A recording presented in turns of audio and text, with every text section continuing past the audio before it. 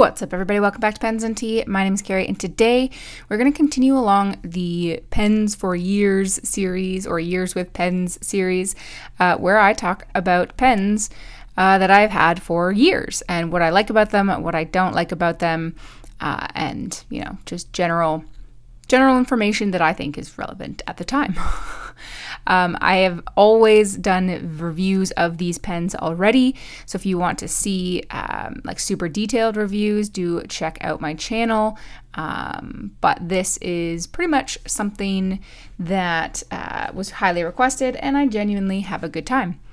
Uh, I'm going to be talking about this model in particular, but I do have some others.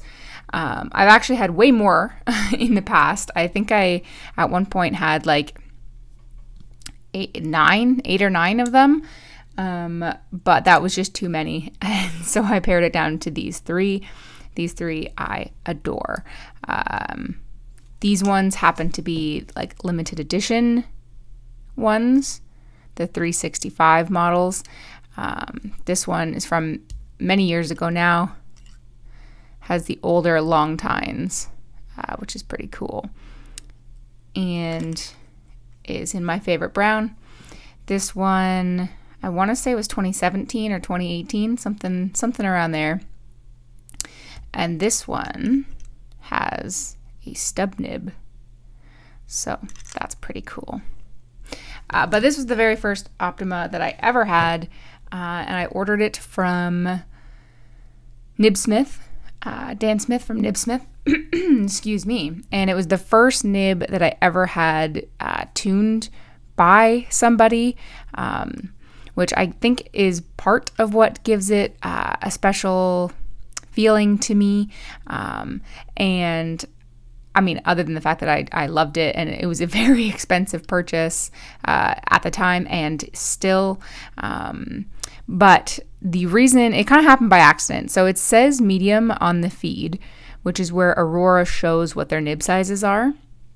But it's actually a medium fine because I ordered a fine um, and there was a mix up with inventory. So Dan Smith reached out to me and said, Hey, I don't have a fine, but I can give you a medium and grind it down to a fine for free, since that was like his mistake, essentially, inventory wise. And I said, You know what? let's take advantage of that and let's actually do a medium fine. So he did. He ground it down to a medium fine for me, and I asked him to make it super duper duper wet. Um, and I was very pleased with it. And to this day, I still am pleased with it, and I still love the pen itself. It has Aurora's um, piston fill with their little mechanism in here that basically allows you to use all of the ink uh, right to the last drop because when you push that plunger down, uh, it forces all of the ink up and then over this portion of the feed, that little black portion of the feed in there, uh, so that all of the ink can be utilized, uh, which I think is pretty cool. I've never really run into that situation, but in a pinch, I'm sure it works. Uh, I love the way that this fits in my hand. It's a very light pen, um, but I love the way that it fits. You can post it, um, but as I always say in every one of my videos, I don't. Um, but you can certainly. It is their proprietary Auroraloid, is what they call it. Uh, it's basically resin um, with like I think teeny tiny bits of celluloid uh, which is why they call it Auroraloid, but I don't know officially. Uh, it has their little Aurora stamp here. I like the fact that it's on the back and it's not like hard to see, but you've really got to like look for it in order to be able to see it. Um, so I like that quite a bit. I love the overall like chubby design of the pen itself. I like flat tops more than cigar shaped pens, but if you don't, uh, if you prefer the, the cigar shaped pens, they do make an Aurora 88, which essentially is the same thing. It's just has the cigar shape and not the flat top. Because there's definitely nothing too special on either side um, of of that. It's just a black nib, knob, whatever you want to call it. Uh, has a pretty classic Aurora clip that's fairly stiff, but definitely does the job. I love their little Aurora deco bands here. It's chunky, it's beefy, and I adore it. I love the little like Greek design on it, even though it's an Italian pen. It does taper down slightly um, and has a silver ring that separates the piston knob. Twist top. It has a gold nib, 14 karat. It's pretty stiff uh, with a red ebonite feed. You can uh, take out the nib and feed unit from the pen body itself, which makes it so much easier to clean. I do have a video of that if you want to check that out. Uh, I do have a video of how to clean this bad boy. So I'm gonna ink this bad boy up. I'm gonna ink it up with Montblanc uh, Heritage Spider Metamorphosis Web Gray in this little guy here. And then we're going to do some writing samples.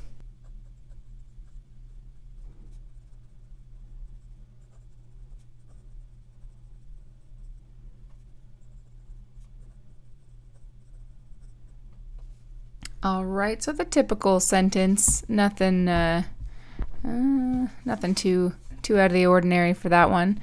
If I can get my camera to focus. I really like this ink. It's got some nice shading. Uh, and because this pen is super wet, you can definitely take advantage of all of the nice shading. Wow, my camera is really freaking out. What is going on? All right, maybe if I put the nib there, it can focus on the nib.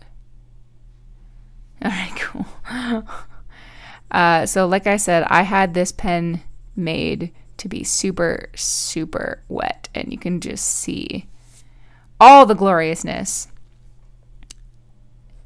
It is a medium fine, and like I said, it's all right. We're gonna have to pick up where we left off because my camera stopped recording, uh, which is uh, you know never never what you want, but we are going to roll with it anyways. Uh, so yeah, like I said, it's it's fairly stiff, but it's super super smooth. There is a little bit of feedback. Um, I will say Aurora nibs tend to have more feedback than others, uh, but because I had this tuned, um, I asked for a little bit of that to be taken away.